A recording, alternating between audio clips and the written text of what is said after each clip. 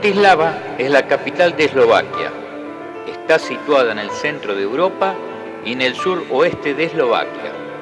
Su ubicación junto a las fronteras de Austria en el oeste y Hungría en el sur hace que sea la única capital de un país en el mundo cuyas fronteras son dos países.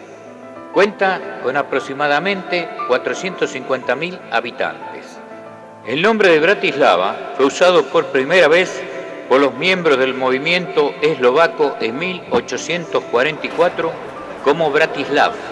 Tras la Primera Guerra Mundial, los diputados no eslovacos intentaron renombrar la ciudad con el nombre de Ciudad Wilson, en honor del presidente de los Estados Unidos, intentando evitar la anexión por parte de Checoslovaquia. Y el nombre oficial de la ciudad pasó a ser el de Bratislava en marzo de 1919, después de que la ciudad pasara a formar parte de Checoslovaquia. Los antepasados eslavos de los modernos eslovacos llegaron entre los siglos V y VI, durante el periodo de migración. Como respuesta a los ataques de los ávaros, las tribus eslavas locales se rebelaron y crearon el imperio de Sam, que fue la primera entidad política eslava conocida. Desde el origen de la ciudad hasta el siglo XIX, los alemanes fueron el grupo étnico dominante. Sin embargo, después de la monarquía astrohúngara de transición de 1867, tuvo lugar una fuerte presencia húngara y al final de la Primera Guerra Mundial, Bratislava era una ciudad alemán-húngaro con los eslovacos como la mayor minoría. Después de la formación de la República Checoslovaca en 1918, Bratislava sigue siendo una ciudad multiétnica, pero con una diferente evolución demográfica. La creación de la primera República Eslovaca en 1939 trajo otros cambios, en particular la expulsión de muchos checos y judíos. En 1945, al acabar la Segunda Guerra Mundial, la mayoría de los alemanes fueron expulsados, o después de la restauración de Checoslovaquia, desplazados de la ciudad junto con los húngaros acusados de colaboración con los nazis. Después de la Primera Guerra Mundial y la formación de Checoslovaquia, el 28 de octubre de 1918, Bratislava se incorporó en el nuevo Estado a pesar de la renuencia de sus representantes. La dominante población húngara y alemana trataron de impedir la anexión de Bratislava y Checoslovaquia la declaró ciudad libre. Sin embargo, las legiones checoslovacas llegaron a la ciudad en enero de 1919 para que se uniera a Checoslovaquia. La ciudad se convirtió inmediatamente en la sede de los órganos políticos y organizaciones de Eslovaquia, siendo preferida debido a su importancia económica y su posición estratégica en el Danubio. El 27 de marzo de 1919, el nombre de Bratislava fue adoptado oficialmente por primera vez. Después de que el Partido Comunista tomara el poder de Checoslovaquia en febrero de 1948, la ciudad pasó a formar parte del bloque oriental. La ciudad figura en el anexo de Nuevas Tierras y la población aumentó considerablemente, convirtiéndose en el 90% de Eslovaquia.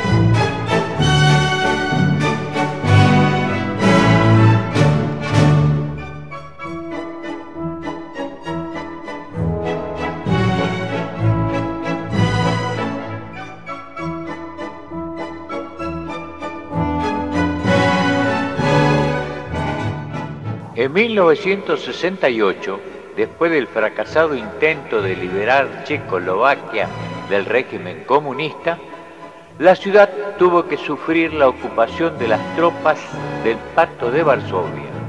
Poco después, la ciudad se convirtió en capital de la República Socialista Eslovaca, uno de los dos estados de la federalizada checoslovaca. Los disidentes de Bratislava previeron la caída del comunismo. Con la demostración de las reglas de Bratislava en 1988, la ciudad se convirtió en uno de los principales centros de la anticomunista revolución de terciopelo en 1989. En 1993, la ciudad se convirtió en la capital de la recién formada República Eslovaca. Tras la reciente ciudad también se acogió varios importantes eventos culturales y políticos. La música en Bratislava floreció en el siglo XVIII y está estrechamente vinculada a la vida musical vienesa. Mozart visitó la ciudad con tan solo seis años. Entre otros notables compositores que visitaron la ciudad fueron Bartók, Liszt y Beethoven, que interpretó su misa solemnis por primera vez en Bratislava.